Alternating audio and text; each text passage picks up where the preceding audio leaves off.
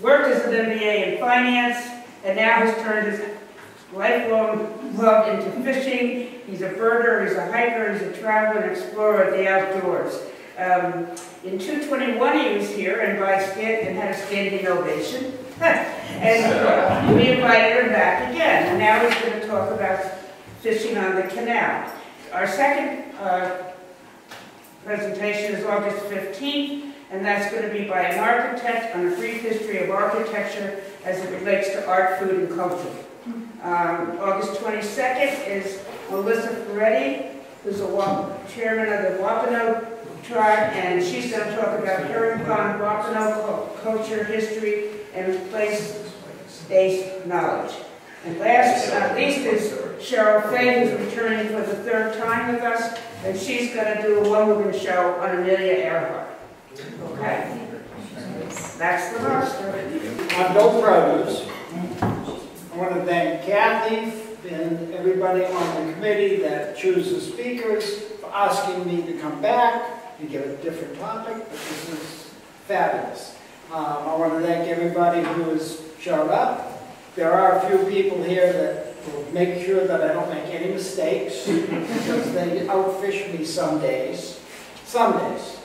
Uh, but so with my, I will uh, say thank you to my wife Tina. She's going to be doing the slides, and she also will remind me about 35 minutes in that it's time to start wrapping this up. So, without further ado, fishing the Cape Cod Canal. All right, why are we here tonight? Curious about why many cars are parked along the canal. You've seen them in, when you've ridden by. There's a lot of cars, but they're not there every day. Uh, Mecca for striped bass fishermen. You know somebody who's addicted to canal fishing and want to know why? You. some people are here just to learn some of the basics. Other people, like Tim here, because he wants to take every opportunity to improve. And um, also because we appreciate the beauty of the Cape Cod Canal. I have some, I'm astounded every day. I could go without fishing. I, there are just so many beautiful sights, whether it be fog, whether it be birds, whether it be animals, whether it's fish. We see some amazing stuff each and every day, while most people are still sleeping. Next. All right. Now, this is a sunrise on Cape Cod Canal. Um, I get the flowers in the background. I learned from John Doble, a great photographer, that what you need to do is sometimes you have to lie down to take a picture so you get the right foreground. And I wanted these flowers to be along with the rest of the, of the, uh, the picture. That's what we see. All right, I live three miles from the railroad bridge. It takes me six minutes to get there. Um, but I fish the surf. I've been from Portland, Maine to Westerly, Rhode Island, so I'm I'm new to canal guy. I only started fishing the canal. Oh, I fished the canal off and on since 2000, but when I moved here 10 years ago, I really started fishing the canal. But I'm really a surf guy. Um, I have 5 a.m. friends. You know, I refer to people as my 5 a.m. These are the people that I see on or about 5 a.m. most days. And then there's another little subgroup, the boys of summer. Those are guys I see even earlier, and I probably fish with a little bit more often. But that's how I differentiate. My 5 a.m. friends. All right, let's go. I've caught a lot of fish. I've caught a very nice canal bass, about 45 pounds one day. that fish happened to be 21 years old. I, am a part of the Sports Fishing Angler Data Collection Team. That's S-A-D-C-T. I take about every third striped bass, I take, I measure it, and I take five scale samples, I send them to uh, Kimberly Fine at the Mass Division of Marine Fisheries, and just like tree rings, scales can be aged. So the, majority of big fish, and a big fish would be somewhere over 40 inches, 45. Those fish are about, let's say 15 years old, 14 years old, 13 years old. This girl was the oldest I've ever caught. 20, the oldest I've ever seen. 21 years. That's an old, that fish has been up and down the east coast a lot. All right. I revive and release all but a few bass annually. If I injure one and I have to take it, I'll take it, but I'm pretty much catch and release kind of guy. Next. Not often do I have a camera with me when I, or I'm with somebody, but my friend Tim and I both caught nice fish simultaneously, so there was a camera out, so we took pictures. I- I'll show one thing. I don't take them out of the off, off- water often. I don't hang them by their jaw and let all the weight go. I support in the midsection. It's an important thing, because the organs don't want, don't like to be moved too much. All right. Um, I was past president of Mass Striped Bass. You'll learn, a- you'll learn a lot, of- lot of things from these people in these clubs. I'm a member of Falmouth Fishermen's Association, Buzzard Bay Anglers, Stan Gibbs. The club doesn't exist anymore, but the Stan Gibbs guys are out there fishing and talking all the time. Uh, Benefits of club members, membership. Fisher members, listen to speakers, talk fishing, uh, volunteer. So all these clubs have events. If you volunteer, what you do is you get in what's called the in crowd, or you get into the clique. And those are the people who share a lot more information. When you're putting in some time, putting together a show or an event, you get invited to go certain places. You get told certain techniques. It, that's stuff that takes time to learn. Well, you ramp up by joining and volunteering and helping. But it's that way with any club. So be, a- be a member of any club, volunteer, join, you'll learn a lot and it's good. Next, keep it wet for release. So the whole thing the state's been doing, because the striped bass is becoming endangered. Um, that fish is still in the water, it's at the edge of the canal. I still have to reach down, uh, use some fish grips, hold the lip a little bit, use my pliers, take the hook out, let that girl out without getting me even out of the water. Uh, There's a mortality rate involved, you want, you can cut the mortality rate on catch and release by keeping them, keeping them in the water and doing it quickly. All right, I told you there's some beauty in the canal. That's one day at seven AM. Doesn't get much prettier than that. Next. Uh, This was sunrise in 2023. And um, I had a series of, I was going to do a coffee table book called uh, It's Five O'Clock Somewhere. But it's 5 AM, and because we see a lot of stuff at 5 AM. All right, the canal, completed in 1914, widened and deepened in 35.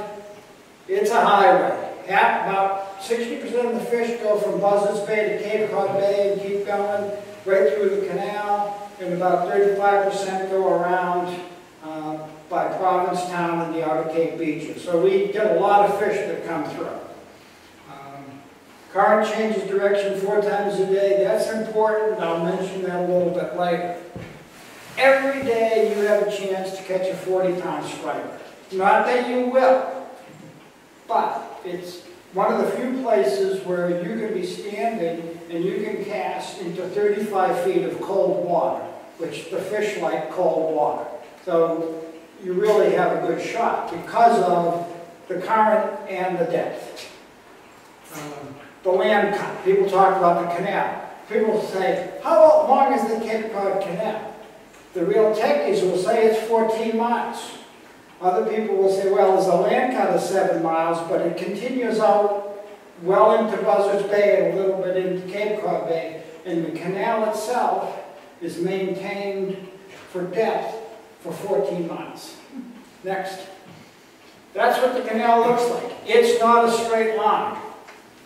Uh, that, when they designed it, that's to slow down the water in the bends as the tides rush through.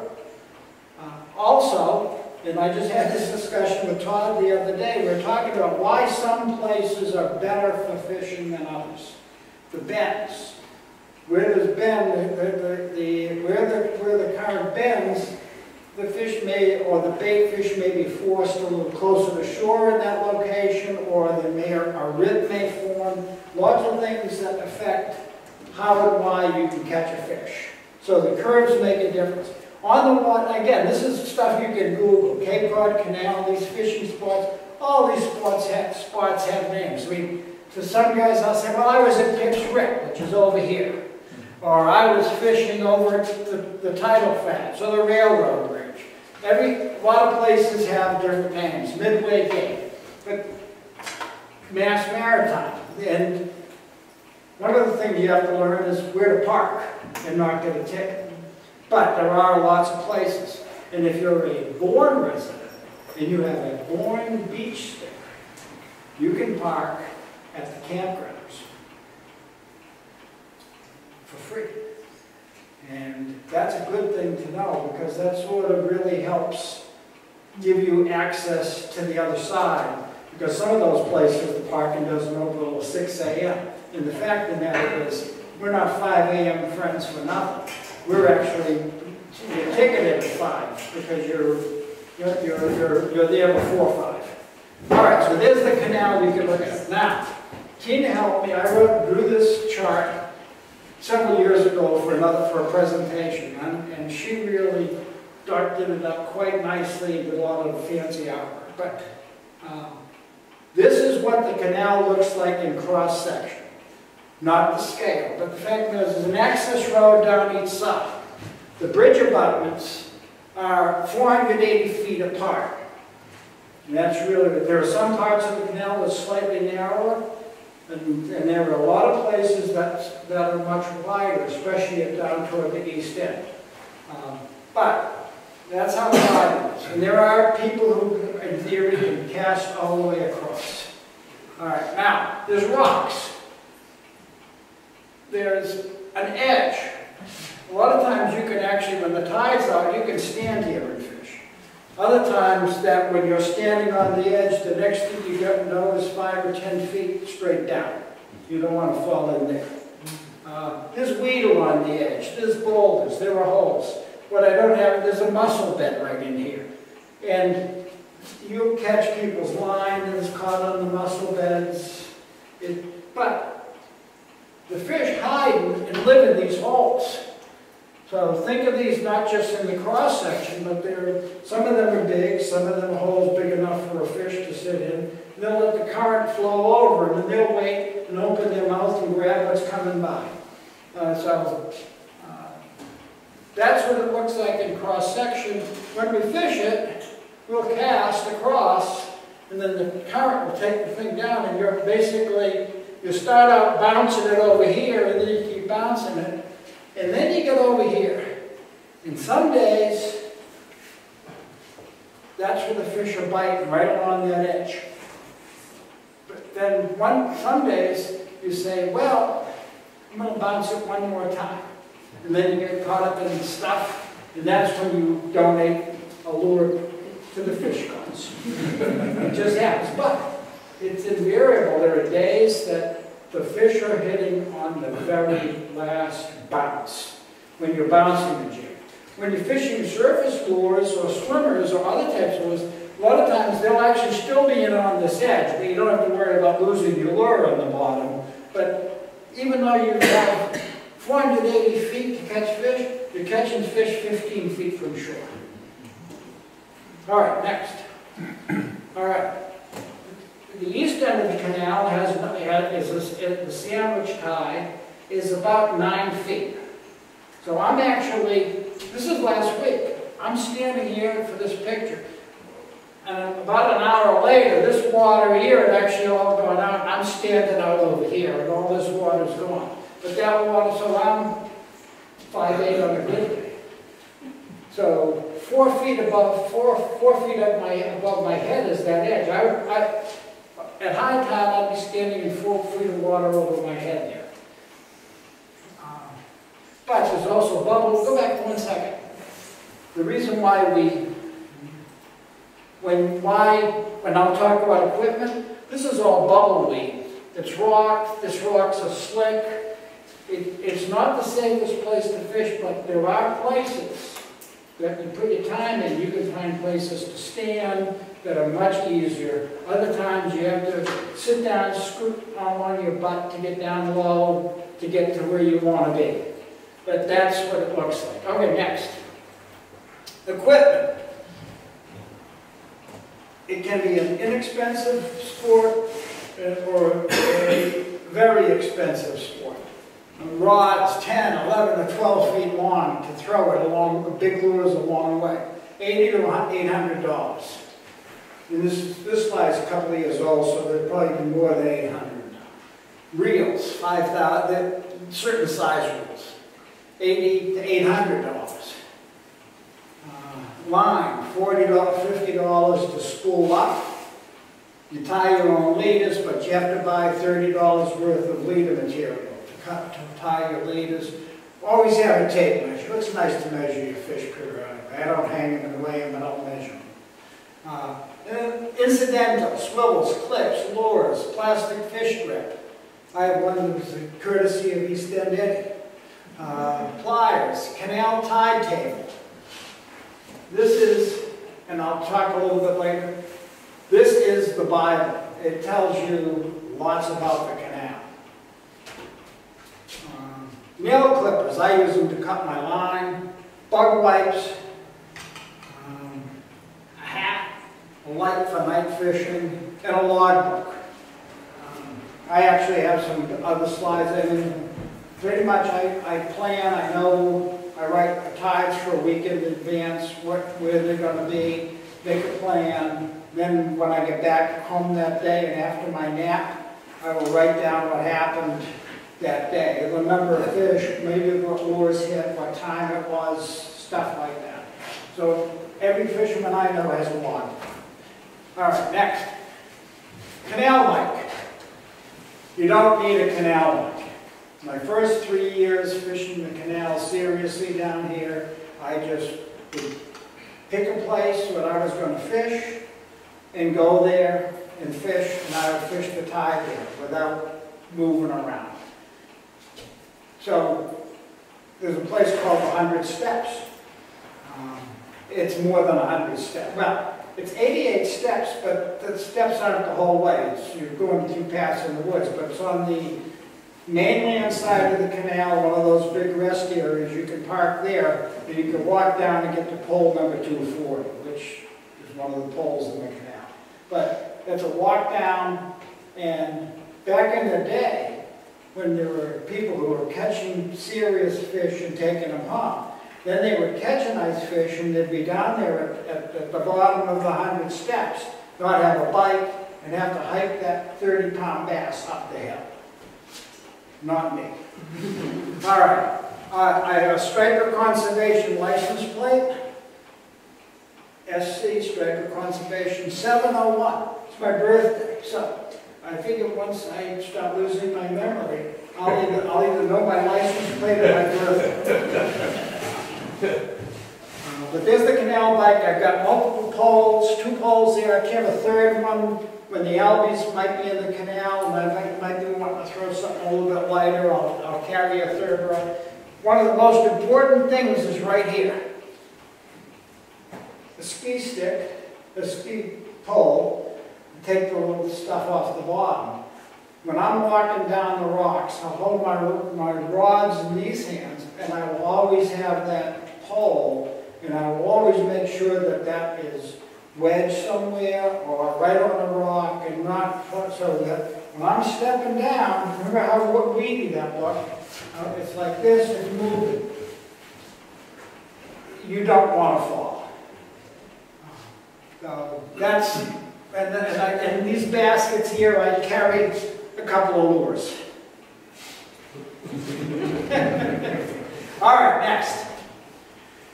Then some people have electric bikes, and some people have electric tricycles. I'm not saying names, but that's an electric trike, a couple of rods, lots of gear, all good stuff. All right, a few lures. And, and I'll mention when I talk about lures, but this will give you the basic thing. That's, I that's a pencil popper. You work that on the surface. This is a stick shad or something else that I'll swim. This is what I would call a paddle tail lures, a lure, uh, a jig head, with a big rubber tail, which tails are interchangeable. When bluefish come, they like to eat it from right here under the hook over there. Uh, And it's uncanny how they can ch- chop it off right there most times. All right, and then there's the magic swimmer. And it's named Magic Swimmer because it works like magic. And was huge 10 years, eight years ago, everybody was catching fish on them. And to tell you the truth, last couple of weeks, it's been one of my go-to lures. Just, it, it recycled. Um, this is a loaded Cotton Cordell popper. So this was a hollow pencil popper, and this is filled with buckshot or lead shot. So it weighs about four ounces and it sinks. And I bounce this on the bottom or I fish the whole water column. So, because the fish can be anywhere from the bottom to the top or somewhere in that 35 to 50 feet in between. And then this is sort of the new, one of the newer style lures. They're wider at the, at the end, they might have a little extra weight here, and they, they, they are for casting to the middle. Not that you always have to cast to the middle, but sometimes that's where the fish break. So those are the some basic lures. Next, jigs, what, three to five ounces, paddle tails. All these people make different paddle tails, savage, gags, bill hurls. The newer ones with this fish lab and plus canal bait and tackle has their knockoff. And it's really, it's much more integrated with, the- with the head of the lure and, and the tail. It just pre- presents, it's a nice tight presentation. And they cast a little bit better because they're not quite as floppy. Uh, And then loaded pencils, okay. Um, New lure types. Made for distance. You know, it's, it's like when Tiger Woods started playing, came on the golf scene, and everybody started hitting the ball past the John Daly distance. Well, the technology has changed, so all of a sudden people have better rods, better lures, and they want to throw it further. And you know, was like, boy, look at that, way that guy casts. Um, is happy as a clam, custom, people make their own. Um, Heavy plastic versus loaded. So striper gear has a rocket, which is similar to a loaded cordell, but it's a hard, heavy piece of plastic. And you don't have to load it yourself, because I know some people who have loaded and cordels and have them break and have a fish break off, as opposed to the, this rocket, which is solid. All right, the integrated weight and the paddle tail, that's that. The canal bait and tackle and the fish there. Next. So, this is one about seven inches long, weighs four ounces. I drilled a couple of holes in it, filled it with shot, and used hot melt glue to seal it back up. So next, now the hard plastic striper gear looks almost the same, weighs about the same, but um, it's one piece. It's not hollow, and you don't load it yourself. Next. This is that integrated, so this is the tail, the body, and that, that head.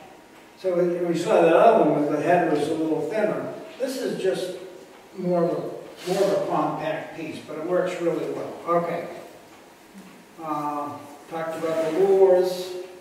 These, these manufacturers, Guppy, Gibbs, Happy as a Clam, PK. And Actually, I have a friend in the audience, Hog Island, and he, he, uh, he's made a couple lures that we've been testing and experimenting with, and, and we've got some nice fish on those lures. And so we're developing a bunch of things with those. Um, Metal lip swimmers, know, not enough canal guys use them, uh, but surf guys use them all the time. And they work in the canal too, especially in certain currents. Is that a Danny or a, or a Paula?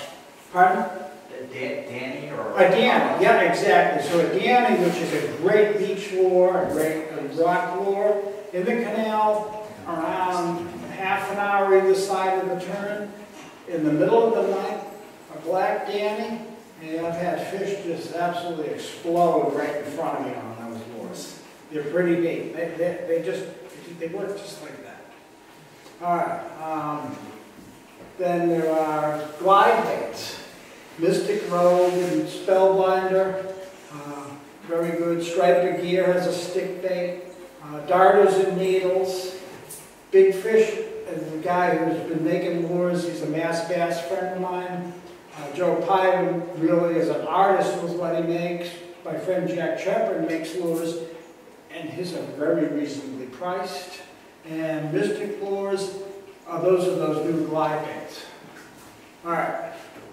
Colors, white, yellow, black, mackerel, pink or squid. It's about all I need. Regulation changes. May of 2020, inline circular, because what happened was the, the striped bass population's in decline again. uh, because there has been poor recruitment, which means not a lot of baby stripers coming. That's the recruitment. It has not been great. They have year classes. 2011 was wonderful. 2015 was very good. Uh, those fish are now eight years old. The reason that they made, it, they had that slot, 28 to under 35, was to try to get these fish to be eight years old, hit 28 inches, breed at least once before they get caught and taken. Um, what happened was there were so many fish from the 2015 year class, these eight-year-old fish, well, they were seven years old last year, because some of them were precocious and were growing really fast. And the take that they estimated for, for recreation, the take is estimated. Commercial, they, they know a quarter, but they estimate, and twice as many fish fell into that slot and got taken. So we basically lost a good percentage of breeders. So they changed the rule, emergency May 26 to October 26, 28, and now the slot's 28 inches to under 31 instead of 28 to under 35. And just last week or the week before, Division Marine Fisheries, Atlantic State Marine Fisheries met, that rule is now made, that emergency regulation is now going to run until 20, October 2024. Uh, it's been deemed very successful in uh, keeping uh, a lot more fish in the population. There is a commercial striped bass market, and they're 29 or 30 dollars a pound. Um, you can buy them, and there is a tradition. I mean, people come to the Cape from everywhere, and want to buy a fresh striped bass and eat it. And so there is an 800,000 pound commercial. Now, we think that's a lot of fish, but recreational anglers take about five to 10 more, catch five to 10 more times of that. Mm-hmm. And then if 10% of them die, they're taking out that many fish too. But yeah, there's a, there are whole talks that can be done on fisheries management, fisheries regulation, or as some people would say, fisheries mismanagement. But personally, I know a bunch of people involved. They're doing the best they can with the data they've got.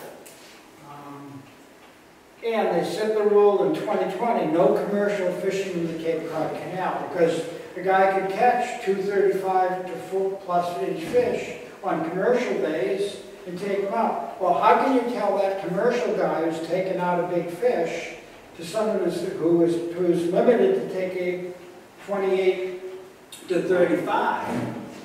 And so, the, so they changed, there's a lot of things with the rules. No commercial fishing in the canal. Okay. Now, this is the newest poster that they put out. And I just saw it last week, 28 to 31. This is a great poster. Why did the regulations change? Uh, the, the 2015 year class is one of the largest ever. That's 2011. Also, all those fish we're catching that are 45 inches long are from 2011. All of these fish that are 30, up to about 32, 33, 34, 35 inches, those are eight-year-olds from 2015. But the quote, they took this is the recreational harvest had been running here. In 2022, they caught that many more, so they said, we got a problem. That's why they put the emergency regs. Um, if you see these signs around, they're great. They're good reading. And you can um, get a striped plate, you can sign up for some of these programs where you become a citizen scientist and you can learn more about the regs. So, great poster. In 2020, they put this up, 20 to 35. Good people, they listen to that. Okay, next. And then all of a sudden Nissan showed up on the canal too, no commercial fishing. And you can't have within a thousand feet of the canal. All right, now let's get to talk about fishing a little bit. Knots. Everybody has to know knots to fish. Palomar, that's your, your braid, which most of us fish with to a swivel. It's a Palomar knot. It's extremely simple to use, and it's pretty much a no-fail knot. You should be able to tie it in, in the dark if you're a good fisher. Double uni, leader a line without a swivel. Um, most of us use a swivel because we're throwing a, a big leader. We're not too worried about the fish being picky. But when we're fishing for things other than striped bass, like false albacore, bonito, that are fishing with their eye, or, or hunting with their eyes as opposed to their lateral line, they're very picky, and so you're tying lures directly to your leader. You're tying your leader directly to your braid. You're basically not showing an extra flash of metal to anybody to spook them. Um, have you have confidence in. Next. All right. How to fish the canal. Know how each lure works. One of the good things about having a day where you're not catching any fish is you get a chance to test all your lures. And you see how they swim, what happens in different currents. And there, there are times I'll put on a lure, I'll, I'll reel it in once, and I'll say, the current's not right for this lure, and I'll just put it away and go to and, and, and try another one. But you sort of learn how different lures work at different times. Um, now, easiest lure to fish, when, I, when I've taken some friends out, people say, gee, you gotta take me fishing. I say, okay, first of all, I say, meet me at 4 a.m. That sort of weeds out a good number of people. And I know that they, they, they, they meet me where I say to meet them at 4 a.m., I know we got a good start. Uh, But, so these sand eels, what I say, just cast it out, count to three, count to five, whatever, and then just reel. You just do this. Just cast and reel. It's all you have to do. Because some days, that's all you have to do. And that's the easiest way. Um, so then you can get fancy. Move the rod up, tip up and down a little extra. That gives it different action. Uh, vary counts. Count three seconds, count to eight. Um, so you're fishing different parts of the water column, you don't know where the fish are. Then, more advanced, you learn how to deep jig, bounce the bottom, and you can actually feel that, that so you get a current running this way, you bounce it, and you can feel it go. And you can actually feel the rod tip doing this. And then you can feel the fish hit goes, and then you set the hook. But you get caught on mussels, mussel beds, other people's line, rocks, crap in the bottom of the pool, probably shopping carts, I don't know. But fish spend more of their time down on the bottom than anywhere else, which makes jigging effective. Next. Right. Second eat, these magic swimmers with a stick shad or the glide bait, you cast, instead of keeping your rod tip up like this, you, you, you sort of keep it at a little bit of an angle, so that, like that, and you reel, and you sort of, you, you're just doing this. That's all you're doing, and all of a sudden, it rips the rod out of your hand. So that's what you do. You might sweep it once in a while. Okay. Um, pencil poppers and surface swims. There, there is nothing as exciting as throwing a lure and having a 25 pound bass absolutely explode on that lure. Make a splash this big and your rod goes down and, the, and your drag on your reel starts to scream. That's why we're addicted. That's what I said about your friends who were addicted, that's why. All right, then you cast. Put the butt right like that, and then you hold it like that, you hold it like that, you reel, and you're doing this. All right. I actually have different retrieves. I even name my retrieves. Not that I tell anybody, but I'm saying, okay, now I'm going to use the fleeing bait fish. So I'm I'm thinking, I'm going to move that a little bit quicker to make it look like it's trying to get away. Have one that's like a dime. But remember, everybody here ever had a goldfish in a bowl. Remember when that goldfish started to die? It would lie on its side, it would drop down, and it would go. That's, that is how I invented the, the dying bait retrieve. You didn't that well, man.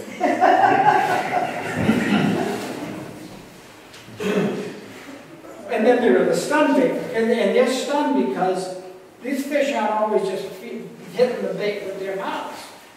A lot of them are, are, whacking the bait with their tails to stun it and then come back and eat it. So that's why you actually have to invent a, a retrieve called the stun bait fish. Um, The lure gets hit, sometimes they don't, they, they don't get it. Sometimes they're in competition and three or four will be chased. There, there'll be days when the fishing's great. There'll be days when you're casting and you'll get four hits in a row before one, one hooks up. On the same cast. All right. Next. All right, so just, so uh, this is at dawn. And it's hard to see, but you see this rod, it's, that's nicely defined there. But you see this is kind of fluttery, because I'm doing a little bit of fluttering with that. And, and, and and the tip of the rod moves different than the butt of the rod, so just give him a little bit of action. And go back one second. People say, how do you decide when it's time to, to fish a surface lure? Because for some reason, I mean, typically you don't throw them when it's dark, because that's not how the fish are feeding. What I do is I take a, take the lure and I hold it up to the sky. And if I can see a good solid outline, which, which means the sky is now light enough, I'm pretending I'm a fish underwater looking up and say, oh, I can now see the outline of that lure clearly. I can now effectively start fishing the surface. Next. Um, next. That's okay. All right, the loaded lures, you fish like a jig, you cast it. All right, now, metal lip swimmers, casting distance limit. We had this gentleman here talking exactly about the classic Danny. That, that lure was invented by a guy, first name was Dan. And it, it, you know, it's a legendary lure. Everybody should have one in their bag and know how to fish. Um, Because it, it's a metal lip lure, but it doesn't die. You don't think, you think that that metal lip will make it die. No, what it does is it makes it wobble. Uh, Darters, they wobble, they have a different wobble. Needles, you know, picture taking a broomstick, cutting a piece of broomstick about seven or eight inches long, putting two hooks hooks on it, cast it out, and then just reel it slow, and then slow down. And you have to have confidence that the fish will hit that board. It's wicked in rock piles, uh, along beaches, and even certain times in the canal. Just a great lure with absolutely no action whatsoever. Next. Yep, feel. All right, another beautiful shot. We are blessed being fishermen to see foggy mornings where you cannot see this far in front of your face. Um, This was looking up toward the Bourne Bridge, 5:31 a.m. My kind of morning. Um, Sunrise was just around 6, so at 6:17 I've got a little piece of sun and the cloud, the, the fog, but sometimes you'll see that fog, and, then- and during the course of a couple of hours on the canal in the morning, that fog will roll in and roll out. When the current changes and the water's coming out of Buzzards Bay or coming out of Cape Cod Bay, depending on the temperature of the water, temperature of the air, that fog will roll one way or the other. It will clear up or it will come back, just absolutely lovely. Next. When to go? Why do I see all the cars parked along the canal? Because there are cell phones and people call all their friends when the fish show up. Um, But there are sometimes there people that know certain days there are moon tides. We expect certain days there to be fish because the conditions are historically correct. People are there. But I say go fishing when you can. I say, I like one and a half hours before sunrise, one and a half hours. I, uh, I've told my wife, I just need three hours a day to pursue my passion. That's not counting naps. But I need three hours a day. And give me that every day and I'm good. Um, Or two hours before the current turn, two hours after. Again, dawn breaking tides are when these two things happen at the same time. Um, The best opportunity is twice a month. Every canal article, anybody who writes an article, or East End Eddie will write an article, or he'll give a video, uh, fishing report, and everybody's saying, all right, we have dawn breaking tides coming up this week. Everybody get ready, because you're gonna get those situations. Um, Fishermen schedule for vacation, I was fishing the other, uh, last moon tide, and that new guy, he was from New Jersey, he basically scheduled his week up for the dawn breaking tides. Lo and behold, we had four days of absolute nothing. We got no fish on Monday, Tuesday, Wednesday, or Thursday, and they were perfect, perfect conditions. On Friday, it made his week, and it sure made, it was an epic day. It made everybody's day. It made everybody's week. All right. There are changes happening. Due to water temperature, due to the, whether the fish are, are the, yeah, the, the the year classes, those, those years where they're successful breeding as they get older. I joke that the fall run used to start in September, now starts the middle of August. You know, fish are looking at the, at the moon and the sun and how long the day is. Starting to think, I've got to go back off the Chesapeake Bay, I've got to go winter in North Carolina. There, no bait, there's no fish. There was big bait in those years. More bait in 2023. May, June, and July were absolutely great this year. All right? Fish seem to have shorter patterns. Used to be you have three to five days of good action, now it's been only one or one. And then you've lost the moon, or you've lost that time. But in July, there were five straight days where people were catching fish twice a day. Morning bite and an afternoon bite. So, just when you thought you had it figured out, you think you know, you have a plan, everything lines up right, up. Happens. All right, intelligence. Read on, on the Water magazine has fishing reports. Fisherman magazine, Canal report by East End Eddie, who's actually in the audience back there. Um, They get intelligence, but fish have, have fins. Eddie also does a show on TV. But fish have fins, they move. They're pearls. Local guy, he was on uh, County Road. He writes for Salton Cape and he does the monthly Cape Cod report, or Upper Cape report, and on the water. Um, So you get some intelligence. The local tackle shops, go there, you'll get intelligence. But, they can say, I saw, caught these fish, you know, the fish were here on Wednesday, they on Tuesday. Now, I'll use that information and say, well, if they were there, they're probably moving one direction or another, I'll sort of tweak where I go based on that intelligence because they have fins. But there's better, there's, there's, you can pick up some really good intelligence, which is, gee, white's working or yellow's working. And that might mean they're on a certain bait, whether it's whiting in the spring or whether it's on mackerel or they're on squid. So those, those baits may stay around a week or two, so that intelligence has a little more lasting power than knowing where the fish were two days ago. So that helps you with lure size and color selection. Next. All right. When you go, practice casting before you go. Or go when there's no one else around. That's a good thing. Have your gear ready when you arrive.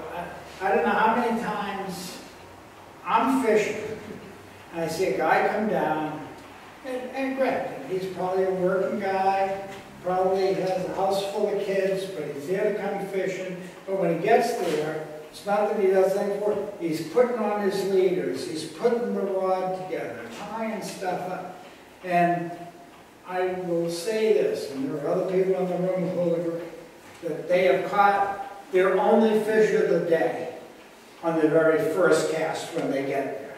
So the key is, if you've got a plan and a place to go, you want to be ready when you get there. Uh, Too many times I've, I've caught a fish, and it's been the last fish, because I've gotten to the bite late. And people have been catching, and I get there, and I get a chance to get one cast in, I'll get one nice fish, and they've moved on. It's just, but be ready. Uh, Expect to fish every cast, otherwise you wouldn't do a couple hundred casts if you weren't expecting to catch fish. But no, there's no guarantee you'll even catch one that day.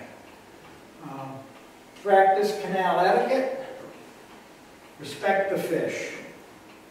They are a wonderful resource. They're a great exercise. They get us up and rolling every day and interested in doing what we do. Respect the fish. All right, so I'm fishing with 50 of my closest friends. But not quite 50, but that's the East End. And actually, this was actually, these guys all knew what they were doing. I jumped in between, between a couple of these guys and we caught some nice fish. That was during one of those blitzes in 2017 and 2018. There's not 50 guys in that picture, but there are places like, here, you know, you can flip it, know, check this. uh, All right, hold on. But there are places like Buzzards Bay Park, the railroad bridge on the mainland side. I finally figured out the best way to describe it. The, some people call it combat fishing. But, but here's, here's, the, here's the image. Picture the Rockettes, Rockefeller Center, where these people can put one arm on the shoulder of the next one, one arm on the shoulder of the next one, and instead of kicking, they're basically cast. Now they're synchronized pretty much, but it's like fishing with the Rockettes.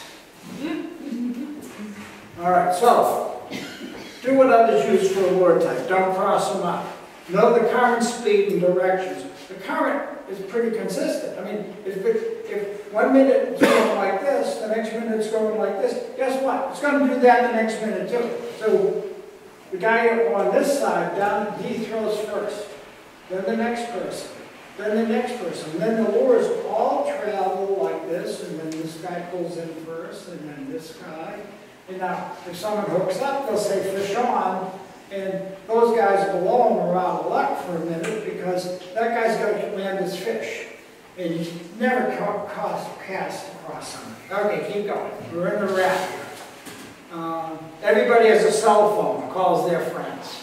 Some people like to fish the combat zone or fish rocket style. Not me, though. I fish with four or five folks who I know, and we do just fine as close as the Rockettes, but we feel like we all know what we're doing and trust one another. Look for vehicles, fish there or avoid it. Next, safety. Rocks are slippery, boots with studs, rubber boots that don't slip, or Korkers with studs, waders or boots. Now, people say, well, you don't want to fall in the, the canal with waves. I don't wade in the canal. I wade so I can sit on the weeds and get down. I want to, I want to fish standing next to the water, so when I land the fish, I can handle it. I don't want to fish from the access road, hook a really nice fish, and then have to navigate down 30 feet of slippery rocks to get that fish off my line. Uh, Walking stick, best, I, I promised Tina when I moved here that I would wear Korkers and I would have a walking stick because she worried about me falling every single day. Um, Nitrile gloves or tape on the casting finger, a lot of people have fishing finger, I have uh, things on it. Bug spray, places to store your glasses and your hearing aids. So even without my hearing aids, I can hear fish when they're feeding. Just one of those things. Water, gotta hydrate, fish grip and flies, what, uh, I fish in prime time, that's at those two hours around sunrise. Uh, Beauty in the dark, it's great, be ready, or to summarize what I just said. Fish other places besides the Cape Cod Canal. We have beautiful water, whether it be on Martha's Vineyard, whether it be Rhode Island, whether it be Maine, whether it be other places on the Cape. There are lots of places to catch fish. I mean, this, that's actually dawn. That's, that's the, that's the first sun of sunrise hitting that fish. And um, that's on Martha's Vineyard. Uh, learn and experiment. Learn that even with the best of perfect conditions, you will be shut out. Um, one thing about conditions, one of my best uh, ever days fishing was Tropical Storm Jose. You could see the sheets of wind and rain coming across the canal, and it would stop momentarily, and another sheet. I spent hours fishing during Tropical Storm Jose, and I just caught fish every. Know, with the right rain gear, you can do it. Go ahead. Uh, Great Canal Reeds, seven miles after sundown, East End Eddie. He talks about how to catch the canal, how to fish the canal, and about some of the characters that are in the canal. He wrote this book before he knew me. I met him on his book tour. Uh, Fishing the Cape Cod Canal, a surfcaster's guide to stripers by D.J. Moe. Probably one of the best books written that's just dedicated to fishing the canal. Uh, all of, all of the secrets are there, and DJ knows his stuff. Um, My Fishing Cape Cod, so Ryan Collins has this virtual club called My Fishing Cape Cod. He's given reports and information, trips, everything, good stuff. Next. All right, I'm not going to go into detail. Have a canal guide. Keep going. That's what it looks like. All right, I've highlighted one day. Next. This is what that one day looks like. See these little asterisks and these two asterisks? That actually means something. Some a friend of mine told me and taught me all about that. That means a minus tide of zero to one feet. So this is for navigators who use the canal. They need to know if it's going to be a, foot shallower or if it's going to be two foot shallower. So you get minus tides with double asterisks. Keep going. All right, now, I had a book like this. I had this on that date. 718, I wanted to be fishing around 718. So the reality, 6.30 a.m. to 8.30, we fished at a Tuxet, hole 360, caught 46, 44, 33, and 34 inch bass. All right. Then we knew that the fish should be moving. We moved ourselves over to the radar tower. We caught 25 at 9 o'clock. We started. We caught 25 more fish as we followed that fish. Now I knew that. I wrote it in my book. But, but I just based on that information there, I had that plan already put together the night before.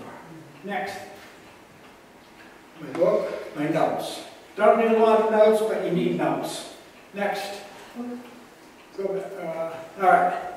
That's me. The day I retired, I became virtual. I created my business card, which was my name, my email address, and my phone number, and a picture of a striped bass, because that's all I needed. Any questions? I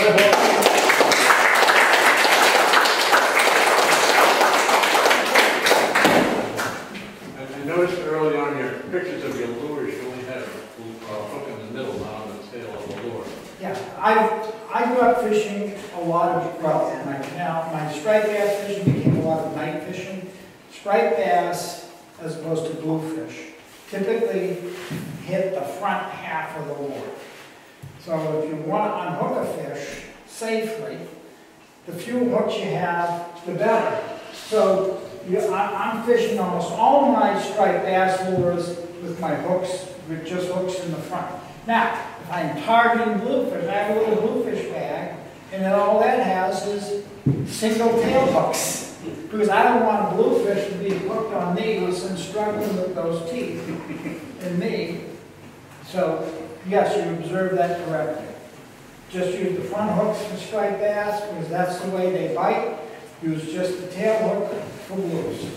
Now, if you go three or four or five, six, seven days without catching a fish, and then I might put hooks on the front of it. Next.